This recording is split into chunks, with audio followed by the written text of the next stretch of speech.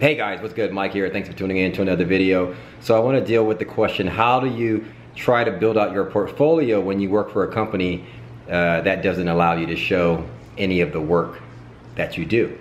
Uh, this is typical, very typical of tech companies, B2B companies. Um, if you're working on a consumer facing app, obviously uh, the projects and things that you work on are already available to the public.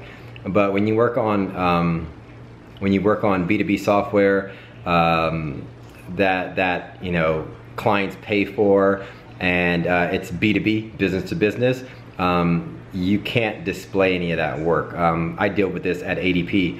Big, um, big payroll company, the software that they sell to companies, they don't want any of us to display any of that work out there because uh, it's a conflict of interest not a conflict of interest, but for competitive reasons. You don't want competitors out there seeing all you know, the projects and things that you're working on. So how do you deal with it as a UI UX designer? You've been working for a company for four years now, and that's been my case. I've been working at ADP for four years. Not once have I displayed any of uh, the work on my portfolio. So how do you deal with that when you're trying to grow and showcase your portfolio work? The short answer is never show the work, okay? That's the short answer you can get fired. And two, um, companies, if you display your work to, to companies that are hiring you, that also looks bad. Um, there was one situation where I was interviewing with this top tech company and um, they were like, we don't want you to show us any of your work uh, for the company that you're working for. Um, you know, if you can't, you know, we don't we don't want to do that because there's legal reasons, there's legal ramifications to that. So never display the work, okay? That's the easiest thing. But how do you get around that? I have a solution. This is how I get around it. Um, so what you do is you want to create personal concept work that that uses the same element, not the same elements, but the same things that you've learned on the job.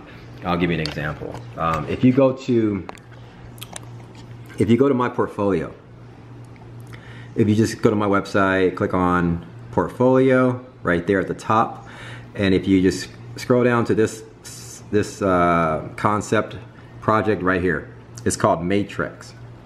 Okay, Matrix. This was um, a concept project that I did um, several years ago, but basically what it does is showcases a lot of the same things that I do at ADP. And basically it's a different, this this matrix uh, project that I worked on was a it's a realtor business solution, right? Um, so it has it has nothing to do with ADP. ADP is a payroll company, but at ADP we did dashboards, and so what I did at the time when I designed this particular um, project, uh, our style of design was almost similar. Like we had this, uh, you know, like sort of these gradients in, the, in these um, headers like this.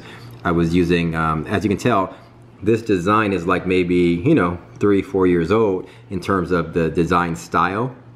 And so I was, I was using, I was the same type of design elements and, and sort of like things that I learned on the job at ADP, I put it into this app.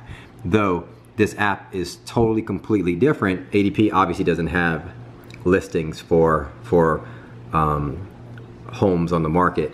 Um, do we use graphs? Yes, we use graphs at ADP. We use pie charts and things like that.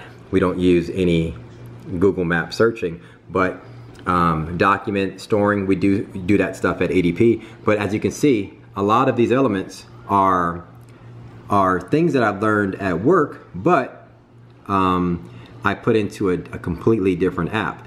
Uh, do we use pop-up modals like this at work? Of course, we use stuff like this.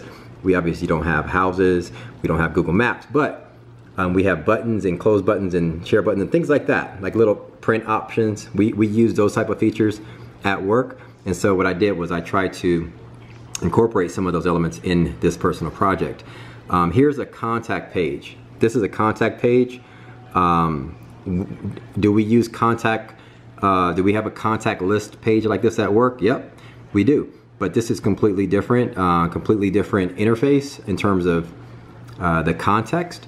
But um, we use something like this at ADP where we have tabs and we had a, a, a secondary navigation bar and, and like action items and things like that. So some of the things that I'm showing here, showcasing here, like pagination, right? We use those, we use that widget elements in at ADP.